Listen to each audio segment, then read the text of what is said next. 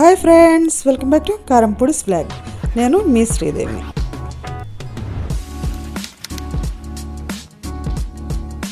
ఇవాళ special two varieties of bread pizzas అండి.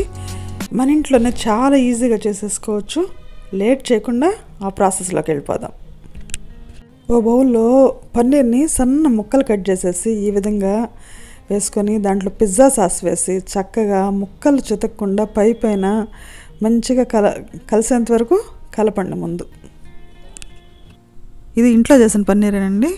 ఆ వీడియో లింక్ కూడా మీకు డిస్క్రిప్షన్లో పెడతాను. అది కూడా ఒక్కసారి చూసేసేయండి. నెక్స్ట్ స్టవ్ మీద ప్యాన్ పెట్టేసి దాంట్లో ఒక హాఫ్ స్పూన్ నూనె వేసేసి స్ప్రెడ్ చేయండి. సిమ్లో పెట్టేసి అది వేడుకుతూ ఉంటుంది. ఇప్పుడు బ్రెడ్ మీద హాఫ్ స్పూన్ కంటే తక్కువ అండి సాస్ తీసుకొని ఎక్కువైతే తీసేసేయండి లేకపోతే మెత్తపడిపోతుంది ఇట్లా స్ప్రెడ్ చేసేసేయండి. ఇది స్టవ్ మీద ఉన్నటువంటి ప్యాన్లో పెట్టేసేసి సిమ్లోనే పెట్టండి. ఇప్పుడు కూరగాయ ముక్కలు క్యారెట్ క్యాబేజీ మన ఇష్టం అండి ఉల్లిపాయలు టమోటాలు క్యాప్సికమ్ మన ఇంట్లో ఏ కూరగాయ అంటే ఆ కూరగాయలు చక్కగా పెద్ద ముక్కలు కట్ చేసి వేసేసి దాని మీద చీజ్ ముక్కలు కూడా వేసేసి మనం పన్నీర్లో సా సాస్ వేసి కలుపుకున్నాం కదా ఆ పన్నీర్ ముక్కలు కూడా ఒక ఐదారు పెట్టేసి దాని మీద మరలా చీజ్ పెట్టుకోవాలండి. ఈ విధంగా షీట్ పెట్టుకోవాలి. దాని మీద మూత పెట్టేసేసి మీడియం ఫ్లేమ్ కంటే తక్కువలో పెట్టేసి ఒక ఐదు నిమిషాలు ఉంచండి.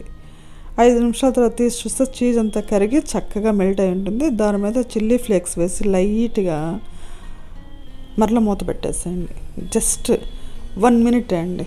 మూత తీసి చూసి అడుగును కూడా కొంచెం చక్కగా కాలుంటుంది. ఇంకా తీసి సర్వింగ్ బౌల్లో పెట్టుకోనండి ఫస్ట్ పిజ్జా అయిపోయింది. ఇప్పుడు సెకండ్ పిజ్జా ప్రాసెస్ ఓ బ్రెడ్ తీసుకొని దాని మీద చీజ్ని ముక్కలు ముక్కలు చేసేసి చక్కగా పరవండి. ఇప్పుడు దాని మీద ఒక హాఫ్ స్పూన్ సాస్ వేసి మంచిగా స్ప్రెడ్ చేసేద్దాం.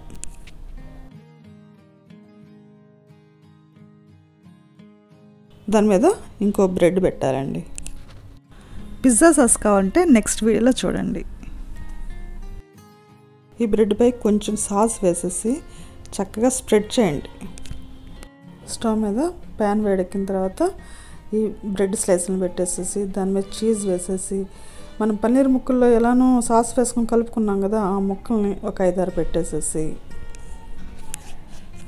దానిపైన ఉల్లిపాయలు టమోటాలు క్యాప్సికము క్యారెట్ ఏమన్నా మనకి ఐటమ్స్ క్యాబేజీ అట్లా ఉన్నా కానీ పెడలు ముక్కలు కోసి పెట్టేసి దాని మీద కొన్ని చీజ్ ముక్కలు యాడ్ చేసి కొన్ని చిల్లీ ఫ్లేక్స్ కూడా లైట్గా స్ప్రింకిల్ చేయండి. మాకు చిల్లీ ఫ్లేక్స్లో కొంచెం సాల్ట్ కూడా యాడ్ చేసుకున్నామండి. అట్లా అయితే మన సాల్ట్ సరిపోతుంది.